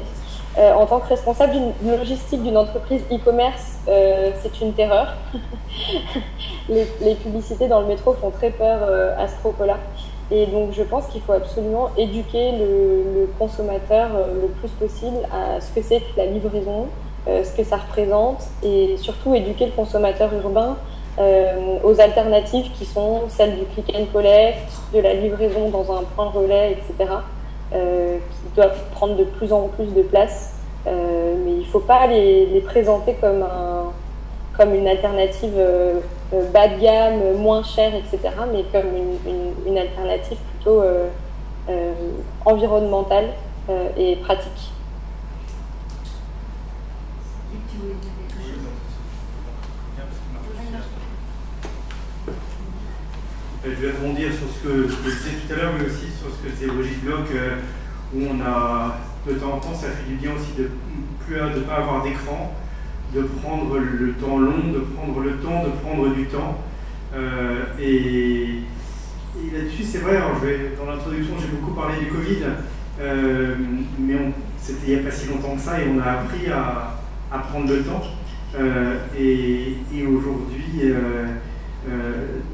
ces, différents euh, séismes euh, que l'on rencontre, euh, j'ai parlé de bilan carbone, j'ai parlé de, de, souhait de mieux-être, de durabilité, etc., conduit les clients à, entendre aussi un discours de ben, ce que disait Marie à l'instant, être servi en 10 minutes, ça ça n'a pas de sens. hein.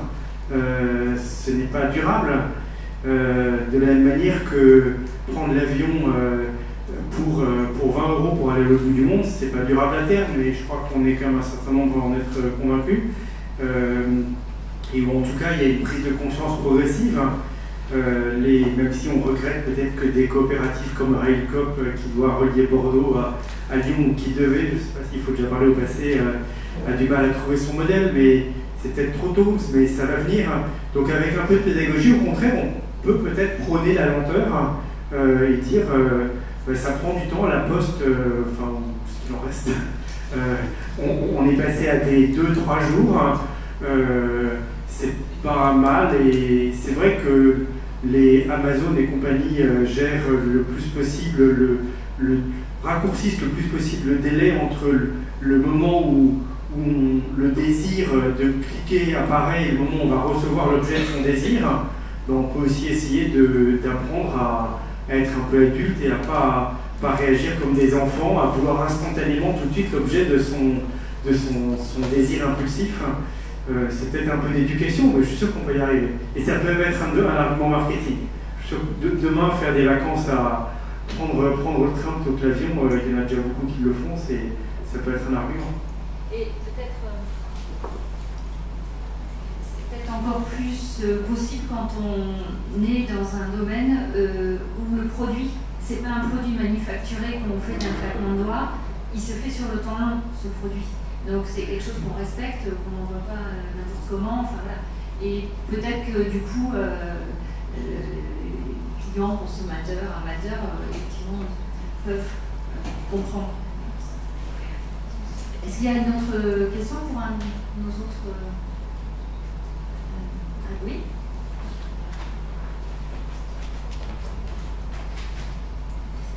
Je voulais revenir à votre, euh, citation du début, qui dit que pour rester au même endroit, il faut courir, et pour euh, aller plus loin, il faut courir encore plus vite. Euh, Qu'est-ce que ça veut dire pour, euh, pour les vignerons de continuer à innover dans le no-tourisme, se renouveler, euh, tout en restant euh, ben, authentique, en restant, en restant soi-même, et puis euh, en ayant ce, ce moment d'échange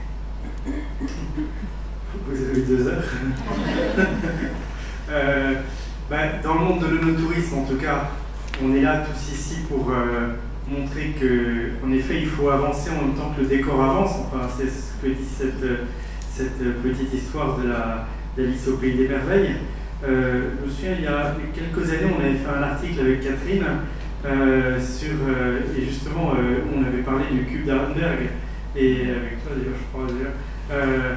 et bah, c'est intéressant d'aller voir dans, alors, dans ce qu'on appelle encore le Nouveau Monde, mais en fait, c'est un peu dépassé, d'aller voir dans des pays où l'approche touristique est, est très différente de la nôtre. Hein. Euh, là, il y a des jolies sources d'inspiration et c'est vrai que le cube d'Arenberg, euh, euh, dont tu nous as parlé, est très intéressant en la matière. Hein. Il faut aller regarder ailleurs. Hein. il faut aller chercher des sources d'inspiration en dehors du monde du vin. C'était un petit peu l'objet aujourd'hui. C'est pour ça qu'on est, allé chercher loin. y compris des choses avec lesquelles on accroche ou on n'accroche pas, c'est pas ça la question, mais justement pour essayer d'affiner son, son objectif, d'affiner ce que l'on veut faire vivre, à qui on s'adresse. Euh, les, exemples innovation, euh, celle du public de proximité, j'imagine quand on fait venir euh, cinq fois de suite dans l'année des, visiteurs, on peut aussi casser ces modèles, mais c'est pas facile, c'est du, quelque part c'est du management aussi, hein. c'est d'essayer de, de, réinventer en permanence ce qu'on a à proposer à, ces, à ces clientèles et donc à ces visiteurs.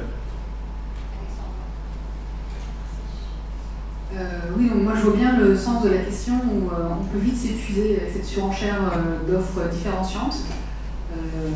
c'est ce qui m'a fait d'ailleurs quitter le domaine, parce que j'avais un directeur hyperactif qui en voulait toujours plus, qui m'a fait faire des trucs dingues. En même temps, rétrospectivement, je suis ravie d'avoir fait ces 8 ans d'offres touristiques, mais là où on a le plus percuté, avec la clientèle, c'est quand on s'est mélangé aussi à nos voisins, artisans du goût, les assos, euh, les, les, institutionnels, où en fait on a créé des choses euh, extraordinaires avec les acteurs locaux. Parce qu'en fait, il faut s'imaginer que le tourisme aussi c'est une locomotive peut se mélanger avec plein de, plein de spécialités.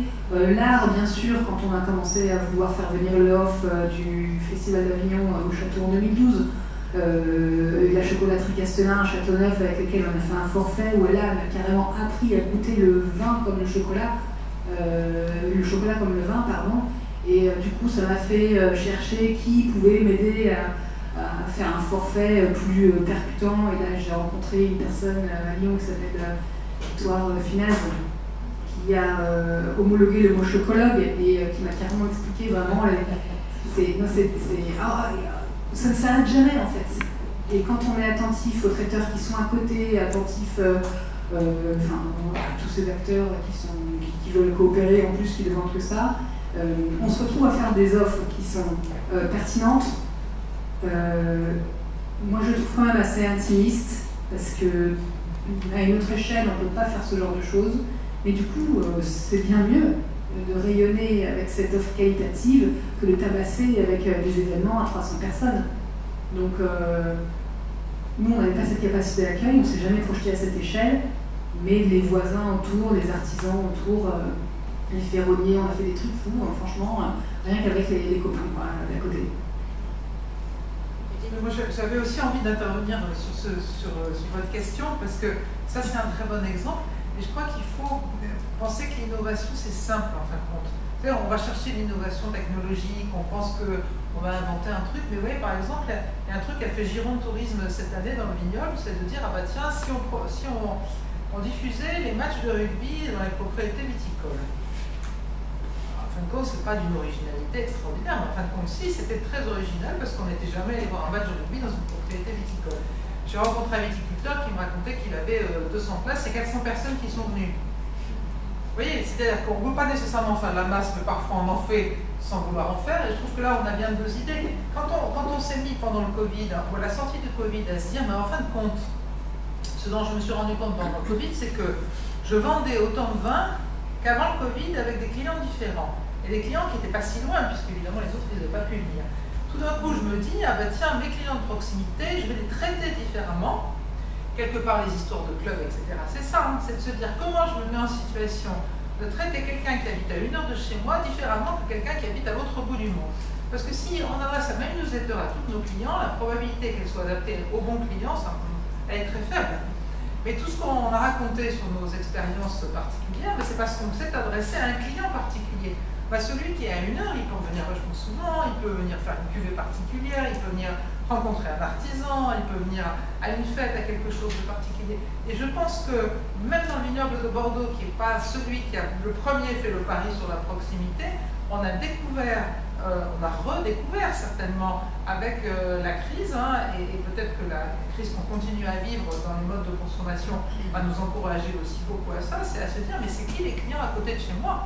Qui peuvent venir souvent, qui peuvent revenir, qui peuvent acheter du vin, qui peuvent le mettre dans la voiture ou dans le transport en commun, parce qu'on aura inventé que le client est venu en transport en commun, mais que le lendemain ou sur le lendemain, parce qu'on n'est pas très pressé, ça peut même être la semaine prochaine, on lui, aura livré son vin, etc. Je crois vraiment que la question de l'innovation, parce que moi je me suis beaucoup posé la question de c'est quoi, le notourisme de demain? Vous voyez, parce qu'on on a, tu, cites des exemples à l'étranger, mais je crois que maintenant on a des offres similaires à celles qu'on trouve euh, à l'étranger, parce qu'on a vraiment une, une professionnalisation, beaucoup de développements qui ont été faits dans nos vignobles. Donc je crois vraiment qu'il faut qu'on se pose la question du service, oui, de, ce qu'on va apporter, qu'est-ce qui va me donner envie de venir, de revenir, de re-revenir dans cette propriété viticole? Eh bien, tout ce que je vais pouvoir y vivre. Et ce n'est pas nécessairement une, innovation technologique ou une énième visite guidée qui sera euh, autour du fromage ou du chocolat ou du voilà qu'on aura déjà testé ailleurs. Mais je crois qu'on va, être capable de se dire, bah, tiens, qu'est-ce que je sais faire ou, quels sont les artisans que j'ai autour de moi, avec qui je vais pouvoir développer des partenariats. Et c'est ça qui sera l'attractivité de demain. C'est l'expérience qu'on va proposer qui sera différente d'un endroit à un autre. Je crois que tu as raison. Et ce que ce que j'ai envie aussi de, répondre pour compléter, c'est ce qu'on fait quand on, intervient avec Scarabée pour aider des, clients, que ce soit euh, d'ailleurs dans le monde de l'onotourisme ou euh, d'autres sites euh, de visite. La première chose, alors oui, d'être très ouvert, d'être des éponges et d'aller chercher plein d'idées partout, mais c'est surtout d'être en phase avec soi-même, d'être sincère et savoir qui on est et pourquoi on le fait. Et nous, c'est le premier travail qu'on fait en général, c'est de dire, mais attendez, oui, on peut tout faire, mais vous allez vous disperser, vous allez vous épuiser, vous user, etc. Mais vous, pourquoi vous avez envie de le faire? Tout le monde n'est pas obligé hein, de le faire. Il y en a très bien ça, hein. c'est pas, pas ça. Par contre, ce qui est vrai, c'est que ça a un, impact, on l'a vu début, fort sur le territoire parce que ça participe à l'attractivité globale d'un territoire parce que quand on est touriste, on ne fait pas que ça, on va aussi faire du canoë, on va aussi se balader, on, va dans les restos, etc. On n'est pas euh, complètement euh, monomaniaque, hein, donc même si on aime bien euh, mais c'est surtout que chacun fasse ce qui lui ressemble, ce, ce qui est en phase avec ses objectifs. Est-ce que je fais ça pour avoir de la notoriété Est-ce que je fais ça parce que moi j'ai envie d'avoir la relation directe pour comprendre le client parce que je suis quelqu'un qui aime partager et si j'ai pas ça, mon, boulot perd son sens Est-ce que je fais ça pour vendre des caisses à la sortie du caveau parce que j'en ai réellement besoin pour faire mon truc? On ne va pas choisir la même manière de faire en fonction.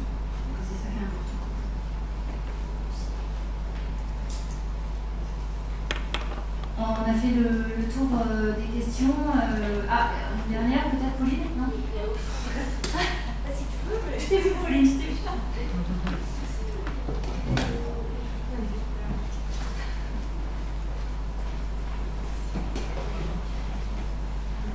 Merci beaucoup pour cette intervention très intéressante.